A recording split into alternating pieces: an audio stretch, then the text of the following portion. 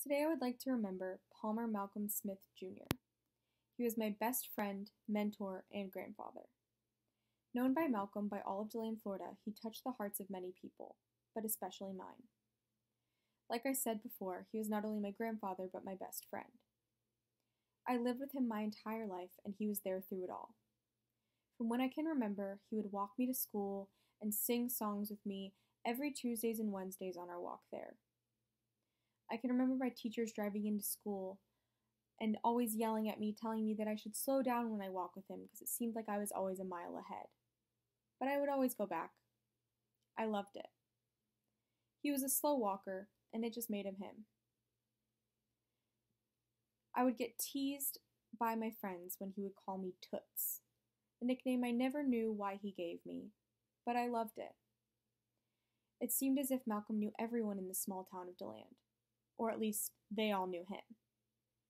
His sight wasn't the best, so he would always ask me who waved to him or who hollered at him, but I never knew. In my early years, I can remember him driving me to 7 Eleven to get a Slurpee every single day after school. Great for my teeth, and my mom loved that. Not really, but I sure did. When I was really young, before he stopped driving, I would help him, or he let me think I was helping him, shift gears in our little neon that he named Smiley.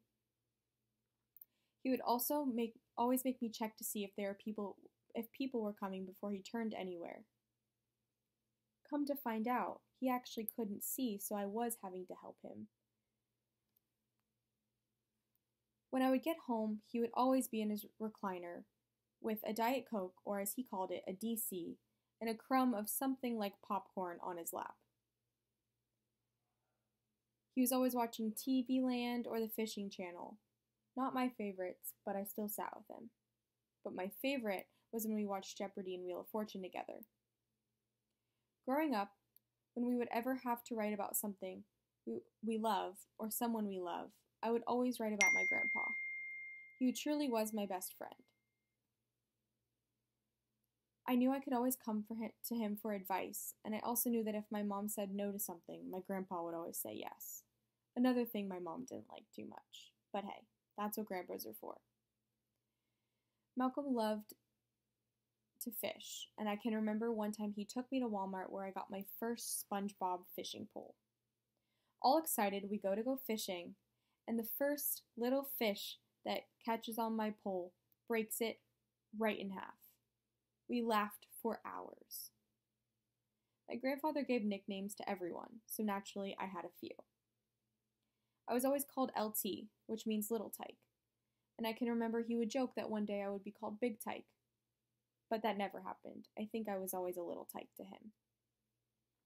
He was a hard-working man, and as much as he loved sitting in his recliner drinking a Diet Coke, he was also involved with Rotary and church that took up a lot of time. There isn't a day that goes by that I don't think of my grandpa. I miss him more than words can express, and I only hope to make him proud and be like him one day. I love you, Malcolm.